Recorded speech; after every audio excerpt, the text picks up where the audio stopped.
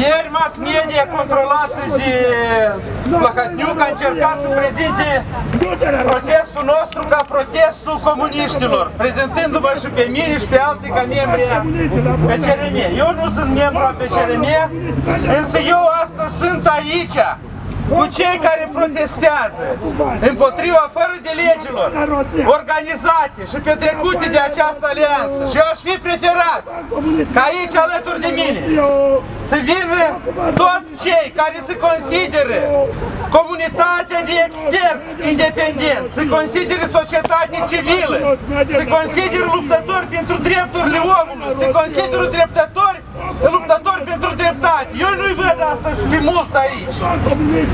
Însă rândurile celor care doresc dreptate și doresc ca doresc adevărul, doresc ca dreptatea să se producă, se va mări.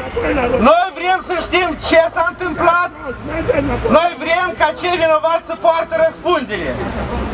Nu mai are acum mare importanță uh, cine a împușcat, din ce armă.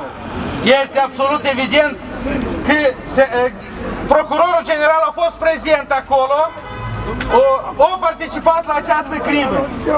Este absolut clar că după această crimă, tot ce s-a petrecut este o crimă și mai mare. Este o încercare de a acoperi tot ce s-a produs pe data de 23 decembrie. Asta este absolut de ajuns ca procurorul general nu în demisii de onoare, dar să fie dat afară și supus anchetii și să răspund în fața legii. El și stăpânii săi politici. Jos stăpânii politici a lui Zubco, Zubco afară și să domine justiția, să domine legea în Republica Moldova. Demisia!